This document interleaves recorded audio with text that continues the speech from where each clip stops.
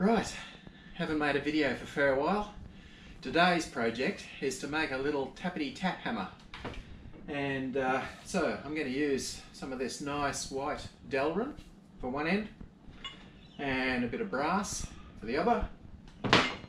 Um, that'll be the centre bit and I'll use some of this for the handle so we'll sort of put all the bits together that way. So let's see how we go. There'll be some lathing and some tapping and dyeing and hopefully in the end it'll be a thing of beauty. And this is what I'm going to make. I'm starting with the ends of the hammer. Um, this is a piece of Delrin. Delrin is a plastic-like substance. It lathes really nicely. So if you've not um, used a lathe before, this stuff is really good to practice on. But please note, this video is just for entertainment. I'm a completely self-taught backyard bumbler, so don't take anything I do as gospel or something you should uh, emulate.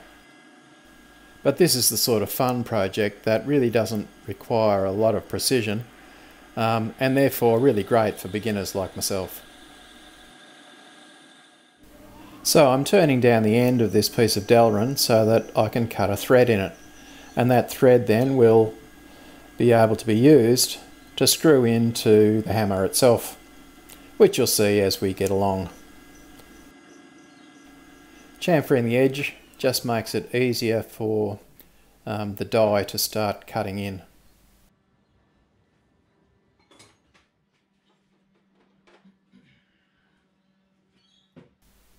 One thing I've found to my cost is that it's really important to get these threads cut nice and straight.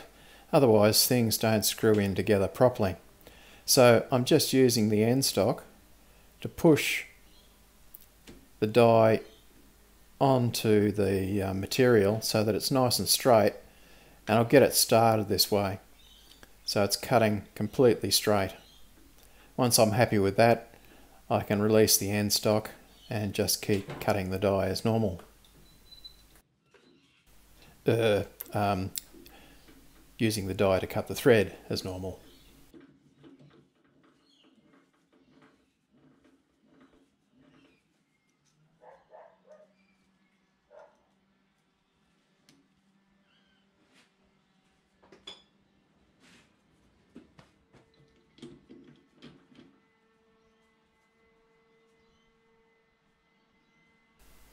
So here we are, we've got one end of the hammer completely done.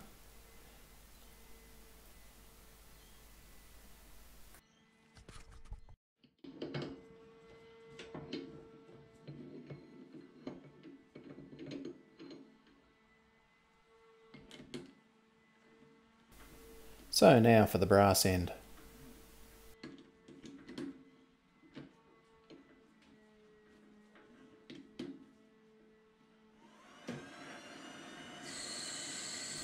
Again, I'm just turning down a length to the required diameter so that I can cut a thread on it.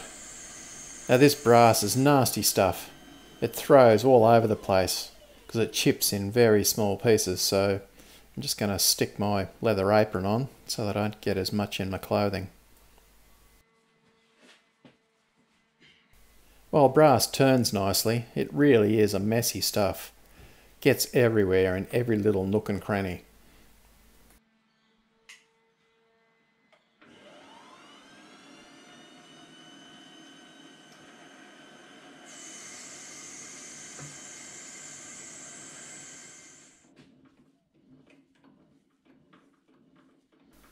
Right, so the thread's cut on the end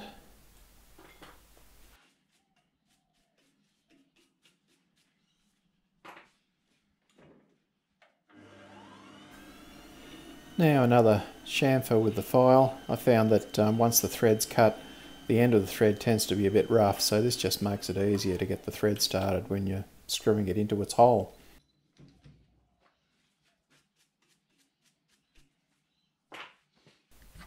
So look at that. What a thing of beauty.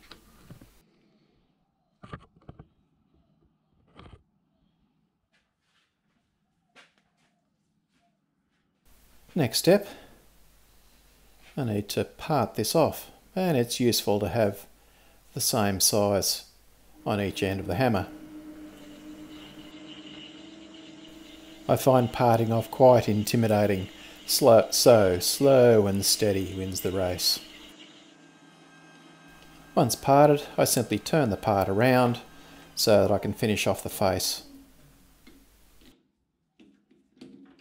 And please note, don't leave your chuck key in the chuck.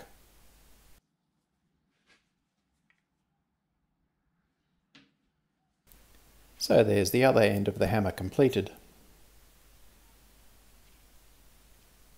Nice and shiny. I'm using aluminium for the head and the handle for the hammer. So I'm just sort of getting the proportions right just by eye and then mark it off. And yes, that's right, I couldn't get hold of any American aluminum, so I have to use Australian aluminium instead.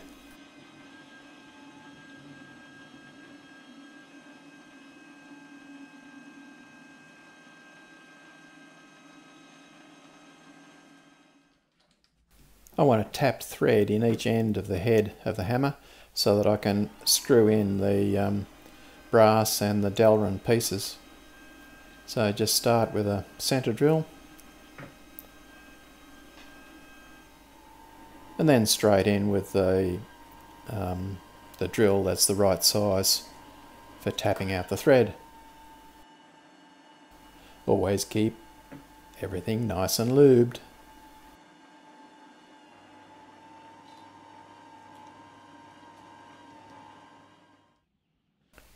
As I've already mentioned, it's really important to get these threads nice and straight. Well, this is the way I do it. I don't have any special tool for this, so I just put the tap into the end stock and screw the end stock in as I move the head of the lathe. That gets the thread started and gets it nice and straight. And so now I can just put in the, the handle and um, cut the thread as normal.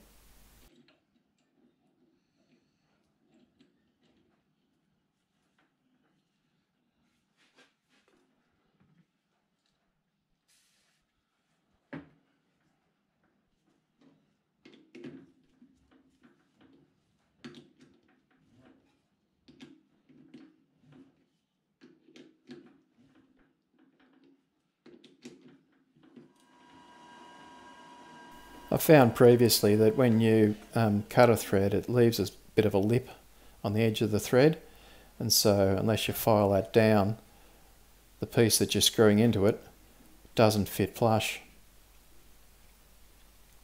Let's see how this one fits. Does it fit? Does it fit? Yes, beautiful. So before I part off, I'll just give this whole thing a bit of a polish up. And then I'll part it, cut the thread in the other end, and then try the Delrin piece in that end. And hopefully everything will be fine. And Bob will really be my uncle. Yep, he certainly is. Now the head has threads both ends. I need to drill and then tap in the head for the handle. So it's always useful to have this in the center. So that's about right. Center punch so that I can get the drill started nice and straight. These auto center punches really are the ant's armpits. Much better than having to try to hold it while tapping it with a hammer.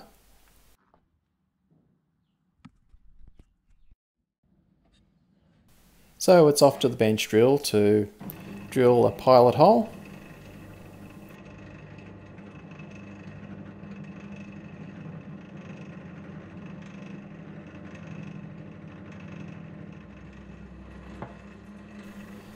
Then the right size drill to tap the thread. I'm using M12 threads for this job.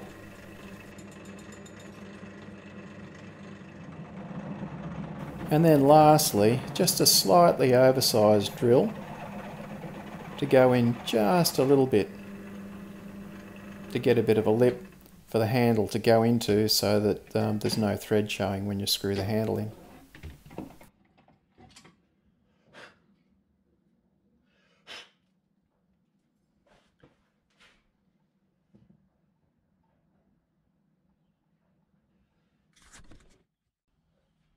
Unfortunately this thread has to be tapped in the vise so I've just got to get it as straight as I can.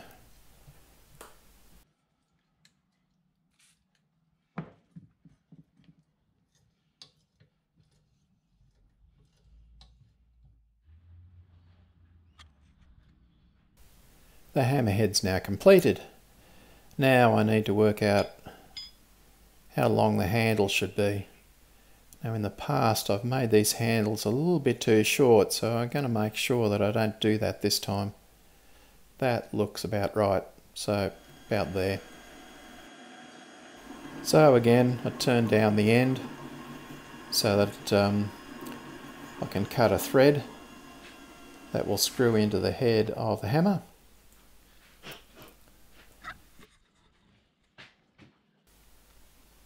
Just like this.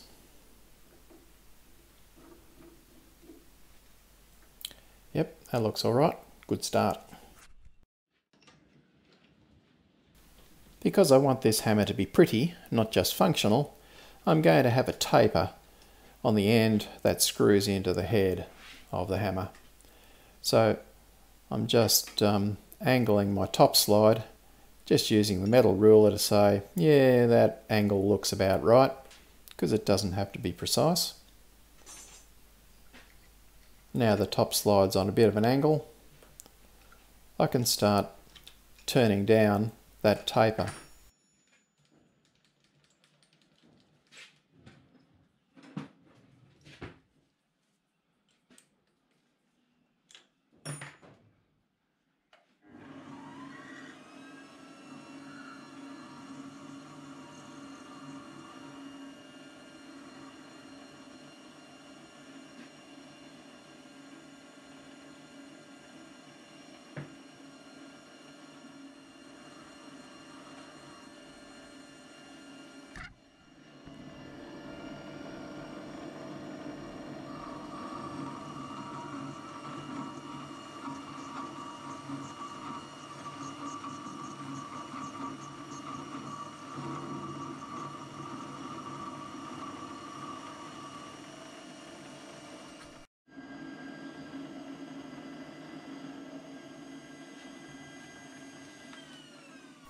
Now the taper has been cut and polished, I can try the hammerhead again. And we can see it fits perfectly.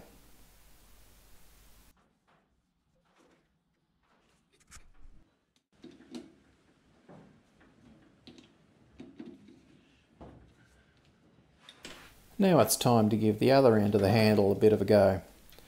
So I've, um, I'm using the end stock now to hold it because um, I've got a whole lot of length stuck out um, from the chuck and I'm going to knurl the handle so that it got a nice grippy spot to hang on to. A knurling tool basically forces a pattern into the material so there's a huge amount of sideways pressure. That's why I've got support on the end stock. Otherwise, you're likely to just bend the material. So slowly, slowly, I start pushing the knurling tool into the material until I've got what I think is about the depth that I want. And once I'm happy with that, then I can start moving the slide along very slowly, slowly, slowly, cutting the pattern into the material. It's a slow process, but you've just got to be patient. And eventually, I've got enough of the knurling done on the handle. I've also cut a thread into the end of the handle because I'm going to put a little bit of bling on it, just because I can. I'm going to put a brass knob on the end of the handle just to make it look even prettier. So having cut a thread and then parted it off, I'm just screwing it into just a piece of steel stock to hold the brass because I now want to um, cut a radius on the end of that brass so that I've got a nice round end. And I've made a fairly rudimentary tool to do that job. Once it's set up, just a matter of cut, move in, cut a bit more, move in, cut a bit more, and eventually it's almost done.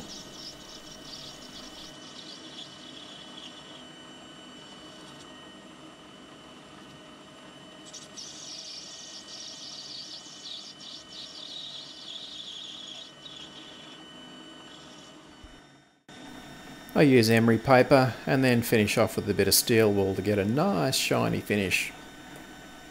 Nothing nicer than a shiny knob. A shiny knob always makes your tool look more purposeful.